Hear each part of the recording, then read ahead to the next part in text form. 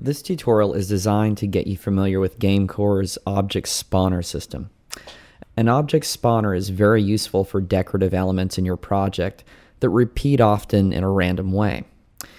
In the video, I use the standard plant, but this can be used for all kinds of foliage, trash, posters, anything really that you can attach to a terrain layer and don't want to waste time hand placing.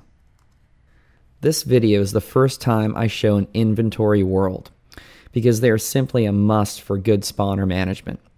Building an inventory world is a good practice to get into in general regarding GameCore development. It's a world where you place one copy of everything you plan on having in your project. Even on small projects, I tend to have many inventory worlds.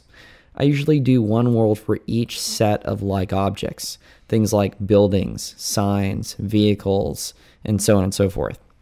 This way you can edit an object in an inventory world and have GameCore automatically update each version of the object in your main project. I hope to avoid confusion, but I'll be flipping between the two worlds in the video. The main world is called blank.wld. The inventory world is blank inv.wld.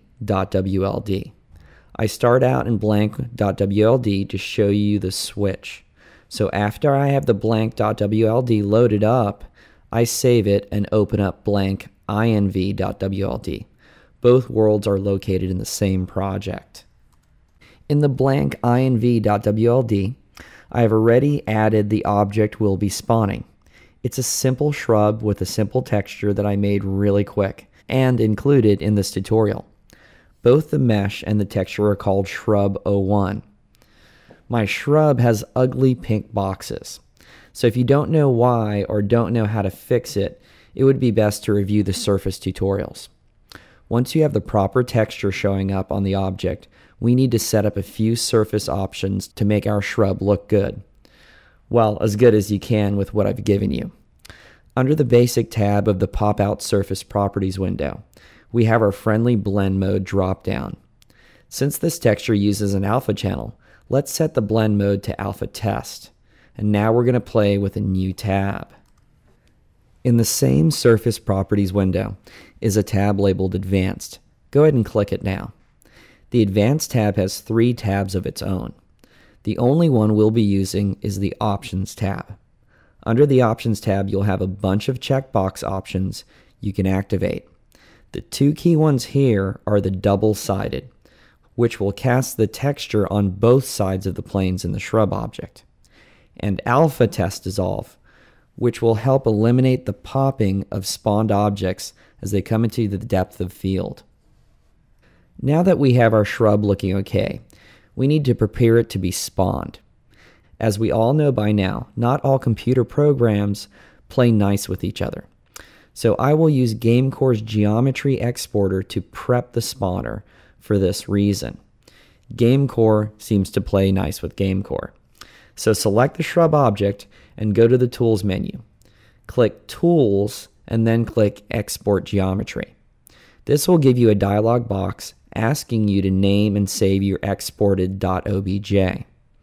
When I'm exporting for a spawner, I call the object whatever its name was plus underscore export. In the video, this becomes shrub underscore export. GameCore will also want you to save out an associated .opr file. Just keep it named the same and in the same place as the exported shrub. So okay, let's save our inventory world and switch back to the main world, which is blank.wld. Okay, in our main world, we have our sky system enabled and a texture on the terrain. Let's enable the spawner now. Go to environments and then go to object spawner slash foliage. You will get the pop-out spawner window. This window will have a list view and a bunch of properties options for controlling the spawner. Click the add button to add an object to be spawned. Now navigate to our shrub underscore export and open it. Under the properties section, the most important thing is the type. This can be confusing. What type is, is the name of the layer the object will be spawned on. It must match the layer name exactly, or your object won't have a terrain type to spawn on. So, in case we have a water surface and a layer 1 surface of our terrain, we will be spawning our shrubs on land, so type layer 1 into the type slot of the spawner window. And make sure you type it properly because it's case and space sensitive. Let's move on to the other properties. Max objects is set a little low at default. Change that to a much bigger number. I use 2500. Now, max rotation is in degrees and represents the full spectrum of random rotation on your object. 360 means it can be spawned in any random rotation. Min and max scale is a random variety in size along the x, y, and z coordinates. I set the max to 3 and leave the min at 1.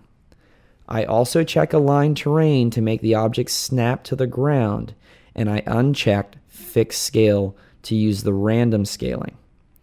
Now, max distance is set at 10, which is basically useless for shrubs, so let's turn that number way up. I used 500 to start. As soon as you input that number, GameCore will bring you a shrubbery. In fact, many. They're all clumped up on one edge of the terrain. So let's turn up the randomness to spread them out a little more evenly. Spacing controls the space between the objects. Play with the slider until you get the result that you like. You'll notice I had to turn the max distance up a bit to about 540 to get complete coverage on my terrain. I also check and unchecked the fixed scale option so that you can see how the object went from random scale to all scaled the same. Want to add more objects? Just add to the spawner list and adjust the properties of the new spawner. Want shrubs to spawn on your grass terrain layer and rocks to spawn on your mountain terrain layer? Just make sure you set the spawner up with the correct terrain layer type name like grass for layer 1, rock for layer 2. Hate my shrub texture and have a much better one? go back to your inventory world and swap the texture on the shrub object, and they all change in your real world. Now, that's the basics of the spawner. Your mind should be racing with all of the possibilities for spawned objects in your project. We'll go into a little more detail next and show off some other cool features to be used with spawners.